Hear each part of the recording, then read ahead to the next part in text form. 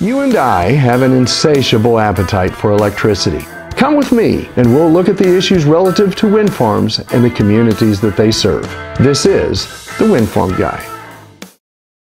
Meeting on WCMY, Bill Bernardoni, Jay LeSeure, along with the UKA Group Representative Dennis Stout. Dennis, thanks for the time. How are you? I am doing great. Thank you for allowing me to be here. And you've got the most unique business card I think I've seen in a long time. Wind farm guy. You Yes, beat sir. me to it. Yes, sir. You beat me to um, it, Jay. So nobody has to say, what do you do for a living? That- that's right. Well, I've been doing wind for 16 years now, and I get asked a lot of questions by landowners and and and landowners for for their answers. Where where do people go today for answers? The internet, and the internet is full of all, all sorts of baloney. And so, several years ago, I started a, a video series addressing the different questions that people ask. And that's what the windfarmguy.com is. It, it's just a way of getting real, uh, good answers out there for, for people. And that's what that is. Okay, so let's get into this project. What is this project and what's, we had a story recently on 1430WCMY.com about what's next and the next steps that you guys are getting ready for with this project. So let's talk about this project. What is it? Where is it going to be? And what is next? Okay. The Hickory Wind Project is an 80 megawatt uh, wind project uh, for here in LaSalle County. And it is south of Peru, south of uh, Cedar Point and Tonica area. Okay. And um, it is, uh, we are, we're pretty much finished with the, uh, the land acquisition phase. And now we are, um, we'll be wrapping that up and then we're heading into the permitting phase and doing the, the various studies that, that you have to do, you know, avian studies and aviation studies and all, all, the, all the important things that we need to do to make sure that it's, it's a, a good project. And, um, we, after we put out that uh, press release, we got word back that uh, we had a, uh, we finally got our, our uh, study back from uh, the PJM grid. And so we, we have our full-blown uh, inter, interconnect agreement in place. Or we'll, we're, I think the last thing to do is a couple of signatures, but it, it's, it's pretty much done. So 80 megawatts is how much? How many? How many wind? Uh, what's the what's the term for each of those wind turbines? How many? How many different turbines are we going to see out there? Well, these these produce uh, well. Wind turbines have come a long way. They used to be very small, and they they generate more and more. And these what we're looking at putting in are in in the neighborhood of five five maybe six megawatts in in, in that area a, a piece, and that's called the nameplate capacity. And what that means is that's if they were running at 100%, that's how much they would generate in one hour. That's that's what that number actually means. And um, and, and so if you uh, divide 80 by uh, that number, that tells you how many turbines we're going to need. And so that's, we're, we're talking uh, between uh, 15 and 20 turbines. Uh, So it's a, it's a small project, but it's a good project. It'll be great for the, the community. And the, the property tax money, right? Or, or Yes. is Oh. that where these figures come from? Your, your uh, piece says uh, 20 million plus Right. in, in new income to LaSalle County on various A- levels. Absolutely. Any taxing entity will get their piece of the pie. So whether it's county or township or schools or uh, whoever the, the taxing entities are, um, the, they, they'll get their piece of the pie. Plus, even folks that aren't uh, uh, going to be getting pieces of the pie, we're making contributions. We made a contribution to the Tonica Fire Department. Uh, we made a contribution to the uh, Cedar Point Fire Department.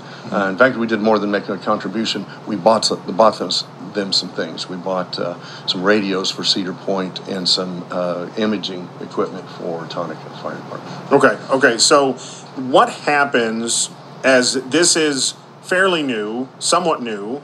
Um, actually, before I get to that, let's ask this: How big are these turbines getting? They're a lot bigger, a lot taller than they used to be. Is that correct? They, they are, and that, that the they're they're generating more electricity in um, multiple ways. Okay. One is uh, the, they're taller because the further away you get from the ground, the greater the energy is in the wind, um, and that's because of the, the friction with the ground. You know, we may not see it or realize it, but the ground slows the wind down, and the further away you get from it, the, the faster and more energy is in the wind. And then uh, also the uh, the rotors are the blades are longer, which makes the rotor bigger, which gives them more torque, and so they can they can turn a bigger generator. And so those two things combined allow these to be um, uh, generate more electricity. Okay, so what happens after the after they get de- decertified, after they're removed? What happens to the turbines then? Because I know there's been a lot of questions about that. What happens then, or is that still something that's kind of being worked on? Uh, yeah, both. Okay. It, it is uh, obviously th- this is going to be in place for, for 50 years. At the end of that, uh, we'll we'll be ac- according to the agreements with the landowners and such. We'll remove the everything all our above above ground improvements, take the the parts, re- reuse ones that we can, and uh, repurpose them, and then uh, you know destroy the rest of them. and uh, it, it's uh, That's just uh, part, part of uh, what we do. And In fact, that's one of the studies that we're, we will be doing is Okay. decommissioning. Okay, okay, okay. Okay. And, and, and along with uh, uh, height or elevation, I suppose, you need to be pretty close to some some high voltage lines, do you Right, not? That right. you can then feed into. Right. And, and, and that is one of the, one of the uh, key things we have to, when we're, when we locate a place for a wind farm, there, you're right, there has to be some, uh, not only a transmission line nearby, but there has to be available capacity on that line. And uh, we will be tying into the ComEd line, which is uh, part of uh, uh, the PJM grid. And uh, that's just north of, of Cedar Point is where we'll be tying in. And uh, and uh, you mentioned those towers. Uh, I mean, they have a red light, so they're obviously an aviation risk because it's got to be higher than 200 feet or whatever the limit is. But when that blade does hit uh, the peak, it's 300 some feet uh, up off the ground, is it not? I mean, It's, it's, it's, yeah, it's, it's the, quite a ways the, up the there. towers are 200 some feet. Just, Well, it depends on which turbine we get, and we haven't made the turbine selection yet, so Uh-huh. I, I can't really say. But uh, yeah, they're they're pretty they're pretty tall. Uh, but that the the good side to that is because they're taller and they're generating more electricity, is we can put fewer of them out there. so we've got and- more efficiency then. Well, and and farmers are are dodging fewer items. Uh-huh. You know, instead of having two or three items in their field, they have one, if that. And so it's actually good for the farm. It's good for the farmers in multiple ways. There was a study by uh, U of I that uh, they determined that uh, wind turbines actually improve the yield of, of corn and soybeans. That's where I was going to Just- go next. Just slightly, but it, it is a slight improvement. That's from U of I. I would never imagine that. I, I'm not a scientist. I can't explain why, but that's that's what their studies show. is that's where I was going to go next is in regards to farming with the the turbines in in the field and the impact that that has had.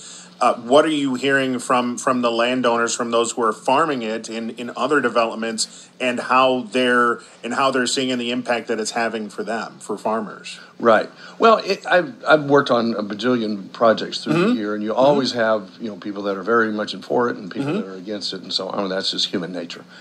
Um, and so we're running into that very same thing here. For the most part, uh, everyone, people are uh, agreeable. They like the idea. They like what it's going to bring to the community. Um, to answer that question, what what you should do, and I did this not long ago. I drove up to Paw Paw and I asked people that had had turbines in their backyard or whatever Mm-hmm. for the last decade, and, and I asked them those questions. You know, what what is how does it bother you? How does it affect your farming? And they it, it doesn't really affect them. So the people that are having concerns now down here, it, it's it's kind of speculation. You know, you know how we are. We, we we worry about things, and most of the things we worry about never come to pass. And and that's that's kind of where where things are here. And so I encourage if someone has some concerns, talk to somebody that has a turbine on their ground or near them or something like that. Well, over the past decade, maybe a little more, uh, you'll see all of a sudden a little tower pop up in a farm field, and it looks like a broadcasting tower or something for a radio station, but it, it's got wind vanes and anemometers and things on it. So that's a tool you initially bring in to work a site. Right. That that is it's called a Met mast, and has uh, meteorological instruments on it, weather vane, anemometer, thermometer. I mean, all of the, everything you would expect. And um, it, uh, it it sorry about that. It, it measures. Uh, uh, the wind, it measures the, the, the different atmospheric conditions, and we use that data to, um, we already have data, wind data for the whole project, and we use that data to confirm what we already know, and from that, we're able to extrapolate uh, mathematically what the wind is like at different elevations and at different locations in, in the project. Good information, wonderful information. How can folks uh, get in touch if folks want to learn more about this project? What's a place for them to go? And go to uh, hickory-wind.com. Hickory-wind.com. Correct. Dennis Stout with UKA Group on uh, the Hickory Wind Farm development uh, here in LaSalle County. Dennis, thanks so much for the time.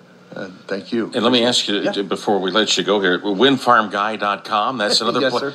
It's that's another place to go to, maybe just to, Uh, Absolutely. That, as an well, educational tool for a lot of folks. It won't have things specific to Hickory Wind, Uh-huh. but it will have, you know, if you wonder why do, why are turbines laid out in this way, or why are they, why do they spin the direction they do, or why the, why are there only three blades? Uh, You know, a lot of the, you know, what's going to happen during construction? Uh-huh. Yeah, you can go there, and I've got ninety-something videos out there. Wow, very Wow. Interesting. I I cover a broad uh, spectrum of, of topics there. Dennis, thanks so much for coming in and, and answering some questions. Really appreciate it.